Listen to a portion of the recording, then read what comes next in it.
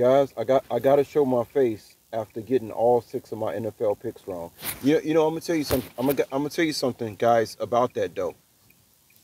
And keep in mind, I'm somebody who won almost 40 grand in Vegas on one ticket before.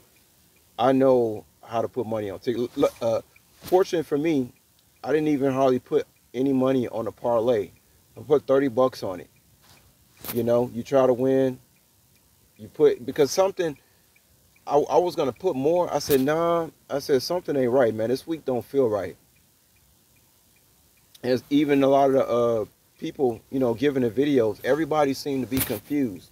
They were saying that this was a very, very tough week. But the fact that I got all six wrong, you know what that say, right? That say that says that I was following the script. But they flipped the whole script around. if I had to put the total opposite ticket, I'm telling y'all, think about it somebody that, that's been doing this for 10 years, I make six picks, put myself out on YouTube like that, and get all six wrong. That tell y'all right there, that was that was the script. I ain't no goddamn fool. That was the script.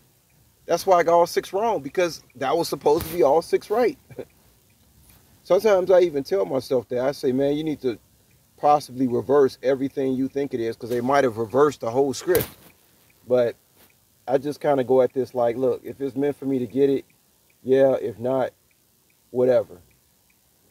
You know, and it, it's at the point now where it's just like, I don't even care anymore. I'm gonna start just playing five dollars to try to hit a 15 team, which is almost impossible. But that's all you can do is keep trying, y'all. And as y'all know, I work every day 12 to 15 hours, so you know I got a little money to throw on a ticket, but guys, I mean, that was disgusting. I just checked the scores today. I don't check the scores the same day, especially yesterday. I was too busy. But the fact that I got all six wrong, that says that that, that was the former script. I know what the hell I'm talking about. That was the former script, and they flipped the whole. I mean, oh my God, that it's just disgusting. I'm not even mad about losing thirty dollars on the parlay. I'm just like, I can't. They flipped the whole goddamn script.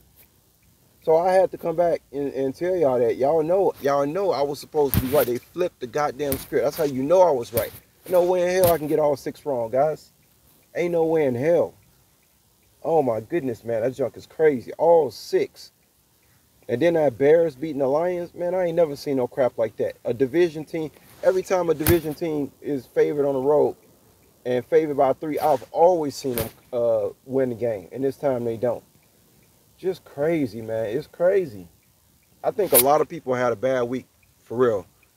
Especially that Panthers, Saints. Guys, I have watched for years the same situation happen. In the same situation over year after year after year. And, it, and they flipped the whole script. Just crazy, man. Anyway, I just want to tell y'all that. And I'll talk to y'all later. Peace.